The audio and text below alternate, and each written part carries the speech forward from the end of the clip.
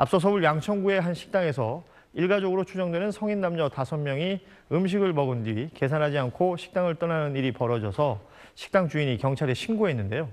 A씨는 어제 식당을 찾아 오해가 있었다며 사과와 함께 음식값 13만 6,500원을 결제했습니다. A씨는 아들의 이들에게 이 가- 계산을 하라고 말을 했지만 아들은 아버지가 계산한 줄 알고 그냥 나가게 된 것이라고 해명했습니다.